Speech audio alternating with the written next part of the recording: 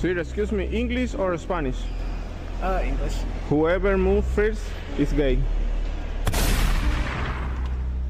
Baby, you got something in your nose. Sniffing that K, did you feel the hole?